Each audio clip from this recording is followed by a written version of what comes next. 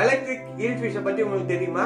தெரியாதவங்க தெரிஞ்சுக்கோங்க. Electric eel scientific name பாத்தீங்கன்னா எலக்ட்ரோப்ளோலஸ் அப்படின்றது தான் இதோட சயின்டிபிக் நேம் இது பாத்தீங்கன்னா சிக்ஸ் டு எயிட் ஃபீட் வரைக்கும் வளரும். அதாவது கிட்டத்தட்ட ரெண்டரை மீட்டர் வரைக்கும் வளரும்.